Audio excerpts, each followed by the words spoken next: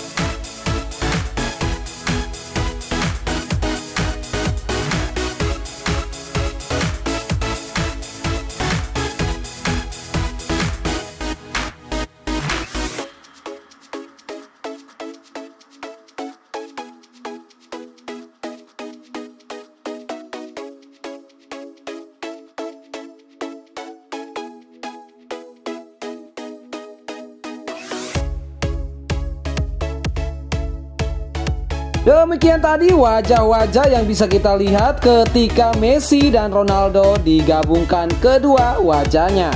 Jika Anda menyukai video seperti ini, silakan berlangganan dengan cara mensubscribe channel ini, like dan nyalakan lonceng notifikasinya. Terima kasih sudah menyaksikan video dari admin ini dan akhir kata admin ucapkan salam sportivitas.